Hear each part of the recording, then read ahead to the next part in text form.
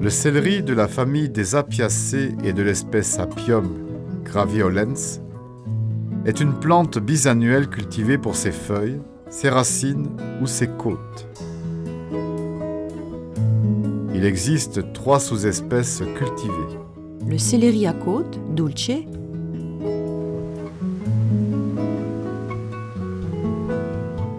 le céleri rave, rapaceum,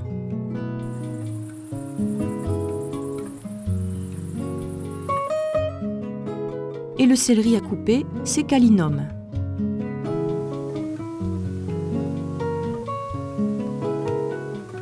Le type sauvage du céleri est lâche des marais.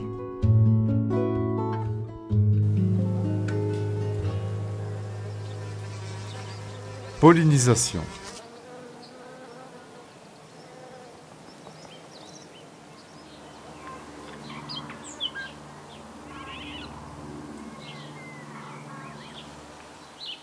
L'inflorescence des céleris est une ombelle composée de petites fleurs, généralement hermaphrodites.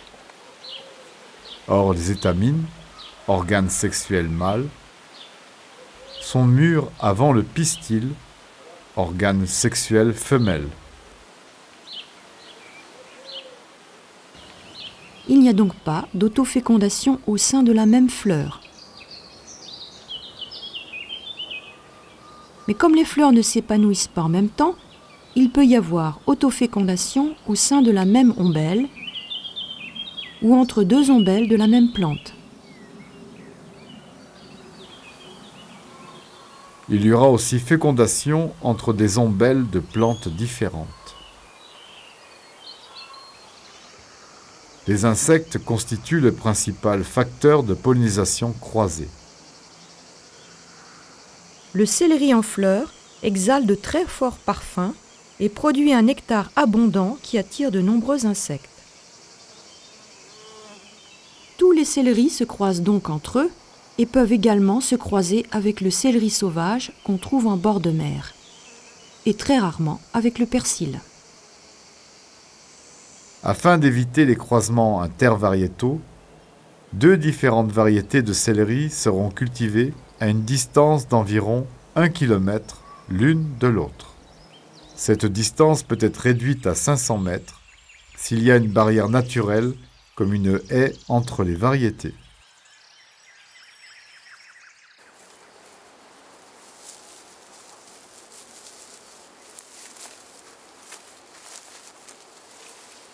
On peut aussi pratiquer l'isolement variétal avec des moustiquaires ouvertes en alternance ou avec des ruchettes d'insectes sous moustiquaires fixes. On se reportera au module sur les techniques d'isolement dans l'ABC de la production de semences.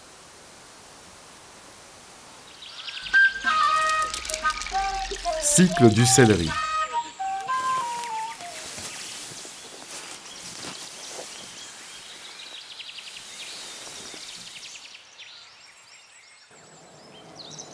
Céleris sont des plantes bisannuelles. La première année de culture des porte-graines se déroule de la même manière que pour les céleris destinés à la consommation. Ils produiront leurs graines la deuxième année.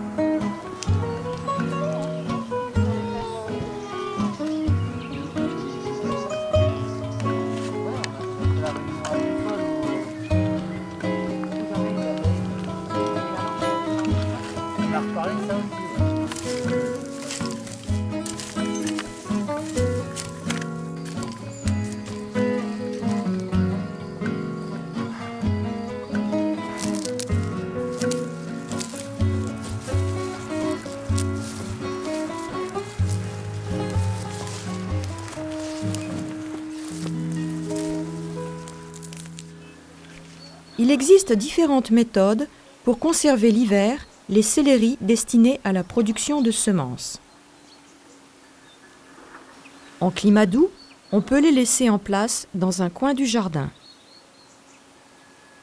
faudra néanmoins les protéger avec un voile de forçage ou avec de la paille. La paille devra être enlevée au printemps. En climat froid, il faudra les arracher avant les très gros froids de l'hiver.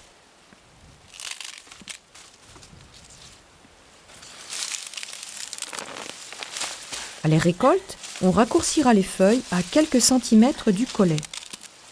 Moins il y a d'humidité dans la racine, plus longtemps elle se conserve. Dans tous les cas, les céleris devront être sélectionnés en fonction des caractéristiques propres à la variété.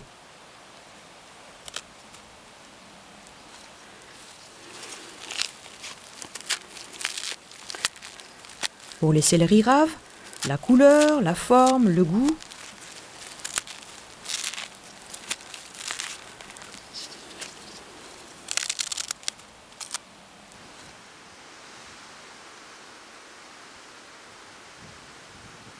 Pour les céleris branches, la taille des côtes et leur couleur.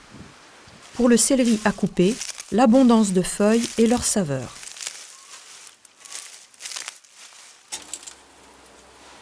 Ensuite, on les mettra en silo sans qu'elles se touchent, dans du sable protégé du gel.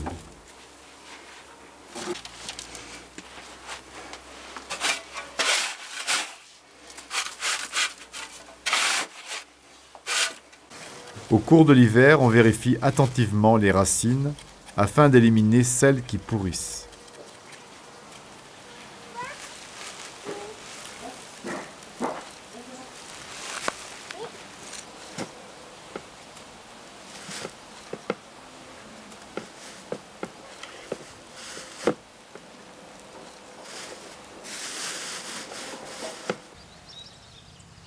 Les racines sont ensuite replantées en début de printemps, une fois disparus les risques de gel.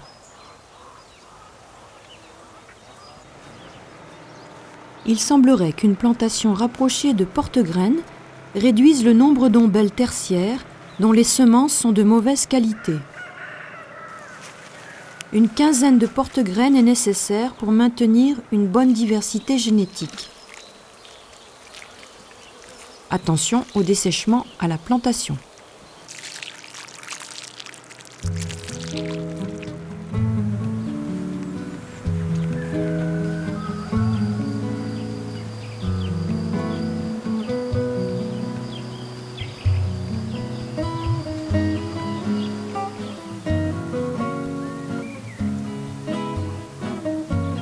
Le céleri produit plusieurs ombelles qui ne s'épanouissent pas toutes en même temps.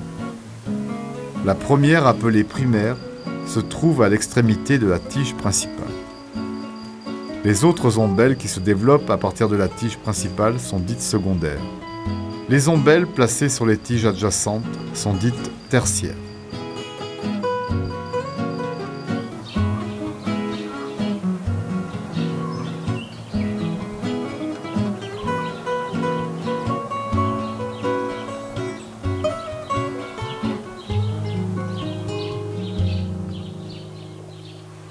De récolter de préférence les ombelles primaires et seulement si nécessaire les ombelles secondaires.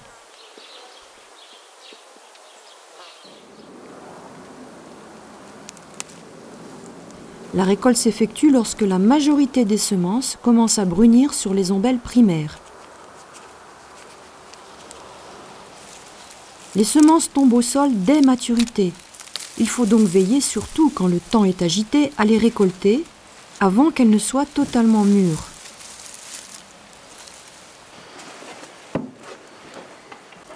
Dans tous les cas, il est conseillé de continuer le séchage dans un endroit sec et ventilé.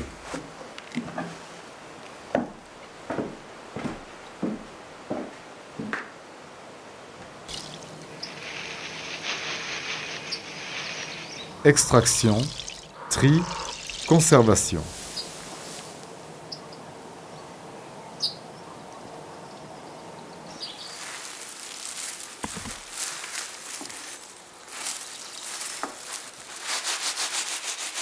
L'extraction s'effectue en frottant les ombelles avec les mains protégées par des gants.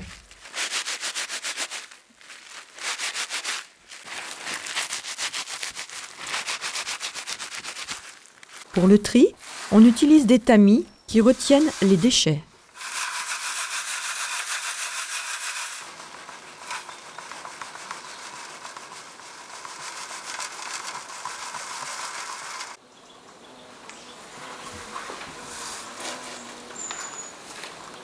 Enfin, il faudra les vanner, c'est-à-dire souffler dessus, pour faire partir les derniers déchets.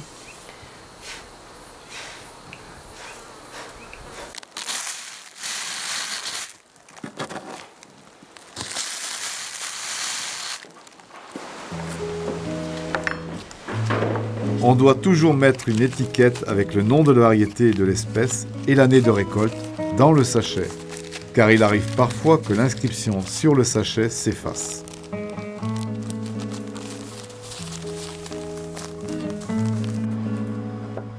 Un séjour au congélateur de quelques jours éliminera les larves de certains parasites.